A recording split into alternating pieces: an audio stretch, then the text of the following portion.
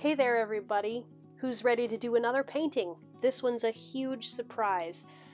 I bet you'll never guess what kind of a painting we're doing today. Oh, maybe it's a dustpan pour. Yeah. Okay, so this this is a mini dustpan. It's like five inches wide, and I've used this for some larger ones, but clearly on an eight-inch canvas, a five or six-inch dustpan it's a little bit oversized. I mean, you could you could do one half and then you could do the other half. But I found these little plastic scoops at my local grocery store and I thought these are basically a narrow dustpan. So I'm going to try to be using this one today, which is about an inch and a half wide maybe. I'm going to see if I can do it in just four passes. I think I can do it in four. I think the paint will flow out a little bit. And I can tweak it as necessary, but a dustpan pour. So this, this is a great technique for beginners because it doesn't take crazy recipes. It doesn't take uh, silicone or any kind of cell activator. Um, you don't have to layer your paint any particular way. You just stick some paint in a dustpan and pull it out across your canvas to create this really cool, it's like patterned ribbons. It's been a really long time since I've done one of these because I've been spending more time doing experimentation with other techniques, so I can't wait to do this today. so I got my earth tones colors and I have pretty much all my earth tones colors, so metallic copper, metallic gold, um, burnt umber, green oxide, phthalo green, and some white. And my white today is not house paint like I would usually use because I had some of this already mixed up. I think this is a mix of apple barrel and sargent white paint, which I like to use for a lot of base coats. So hopefully that won't sink, but will play well with the other colors. Okay, so with a dustpan pour, you start by layering your colors in the dustpan and then once you have enough paint, you pull it out across. So I'm just going to give myself a little space here and start layering some paint. So hang on one second while I think about which colors should go next to which colors.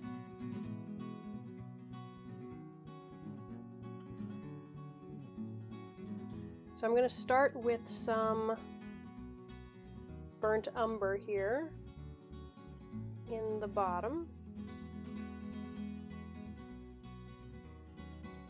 And then some gold.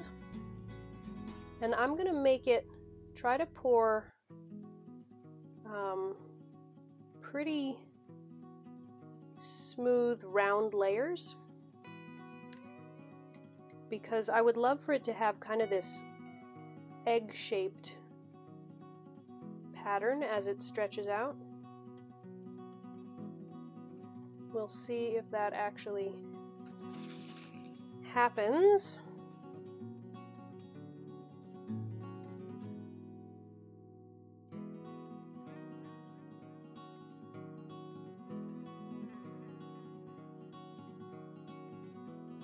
I'm going to add just a little bit more of this burnt umber brown to the front to make sure I have enough paint for it to start flowing on its own.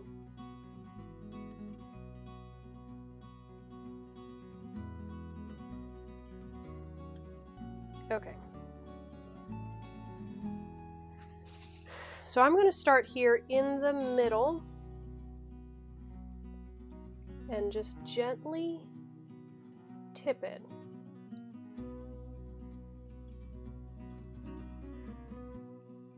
And then as it flows, you pull.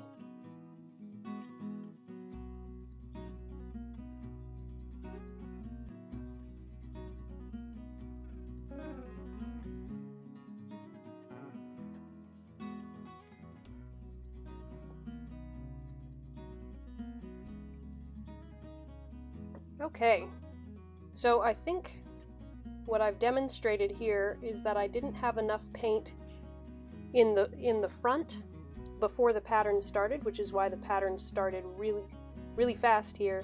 and then faded out. So with the next one that I do, I'm going to put more paint in it to begin with, and more paint up at the front. But first, let me go wash this out really quick so that we can start afresh. Actually, I'm not going to do that. I'm just going to start afresh right here. That way we've got some extra paint in the bottom right from the start. So here I'm going to put white in the bottom. That'll be sort of my outside layer. Sorry, you can't see what I'm doing here. And this little scoop is nice because it naturally tilts back a bit. On a dustpan, you'd want to prop it up slightly so that your paint won't flow out until you want it to.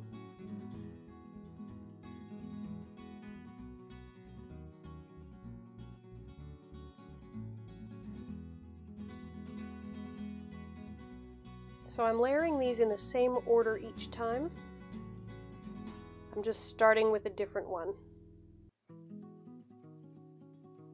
And your sort of center oval, you want that to be as clean and oval as possible because the shape will stretch, but it'll still stay pretty close to what you had already. Okay, and now I'm going to add more white here in the front.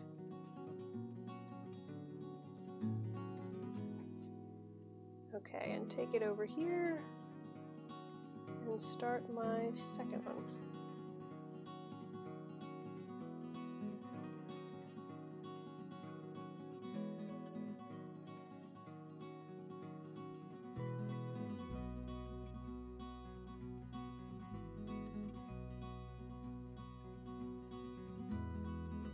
All right, check that out. So that one's better centered. I love that. Okay, um, let's layer up the next one. It still is a pretty clean uh, base layer that I've got here, so I'll just keep the leftover paint in there and keep adding on the top. This time I'll start with the phthalo green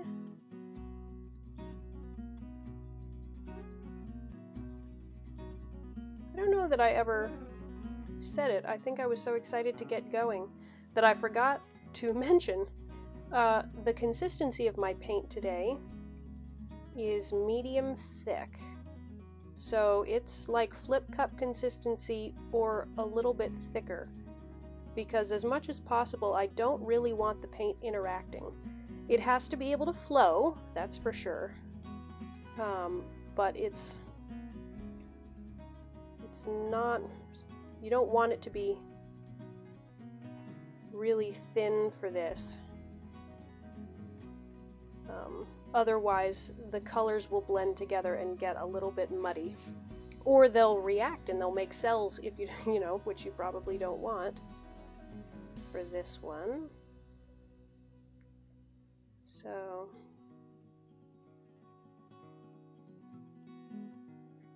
So do use thicker, thicker paint for this technique. Okay, I'm gonna add some more of the phthalo green up here at the front.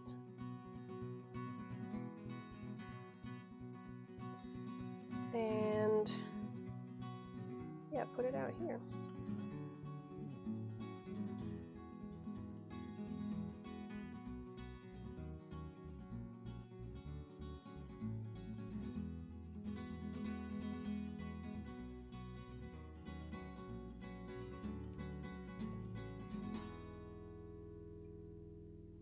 Okay, I left too much space here, so I'll end up filling that in with another color. Probably the phthalo green, just to sort of continue that edge. So the other cool thing with this is because you're not creating cell reactions, um, it's very easy to take just the original paints and fill them in how you want.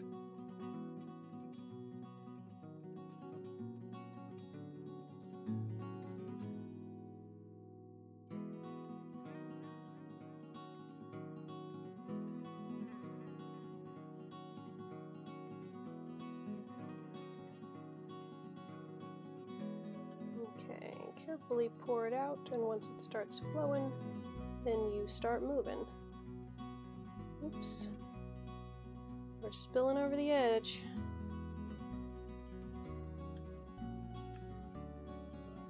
Well, that's not quite what I wanted. Oh well.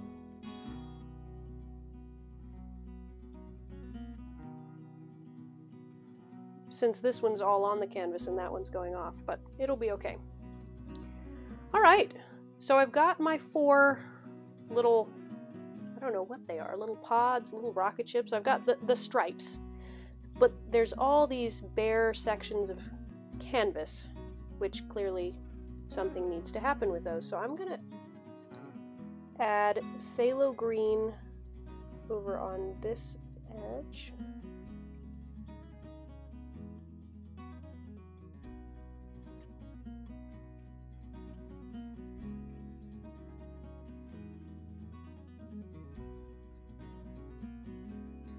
So all those hollow spaces, you just choose what color do I want to go there. I like blending in with the colors that are already nearby, but you might want to add something totally different, who knows?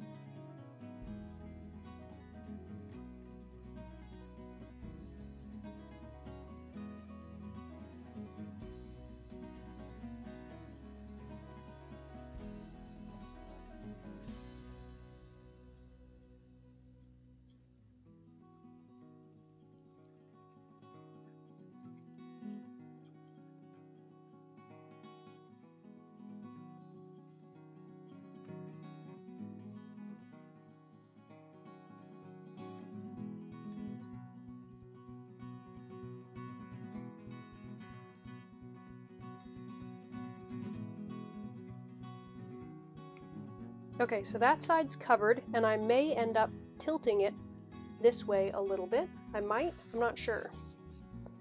But first let me let me fill in a little bit of these other areas that didn't get filled. So I'm going to add burnt umber here because that's the color that was in this direction.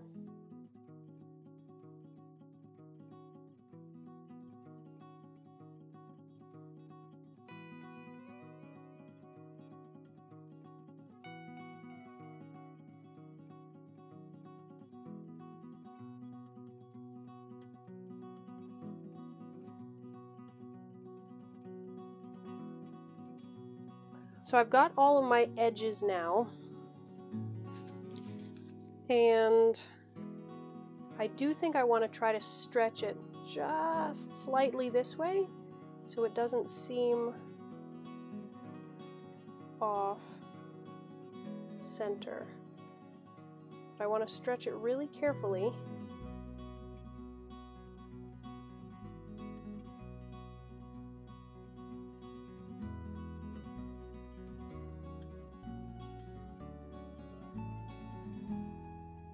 Okay, so do you see how it's warping there?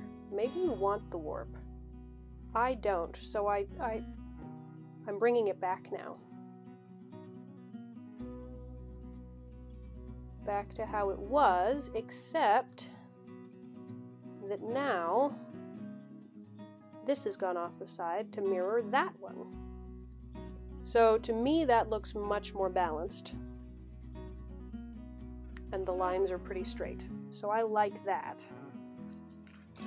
The last thing to fix is the little centers, which you could fix with a brush afterwards, or you can kind of just add some paint now. So like I'm gonna add some white and then some of the green to try to fix this shape. Make it look a little bit neater here.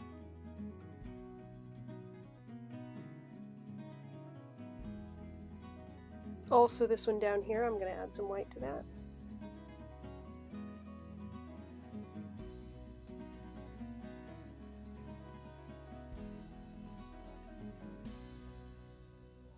So there's really a lot that you can do to the shape if you don't like it just by putting in some more paint right at the end. Okay, so now I'm going to tweak this, these two greens.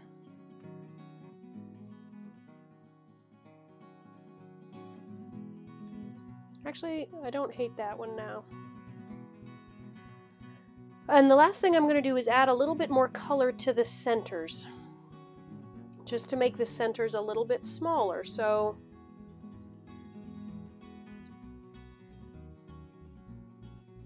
So I'm going to add some of this phthalo green here. Right to the center of that. Oh, I hope that wasn't a mistake. Now it's looking like an eyeball.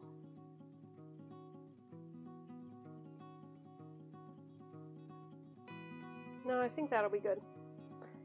And then, let's see, white would go here on top of the gold.